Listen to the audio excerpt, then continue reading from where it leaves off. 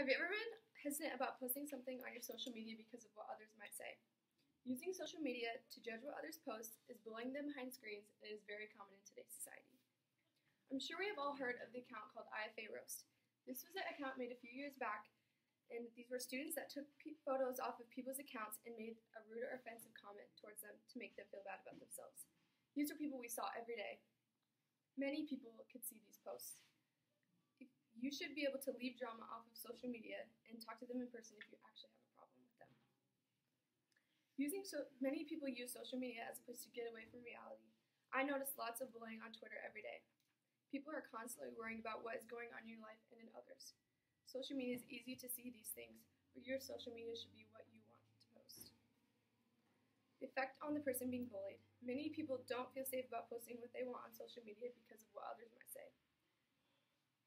Many constantly are worrying about what others might think. This is bullying, and this is a pet peeve of mine because it is because of a personal experience and is not something that should be going on.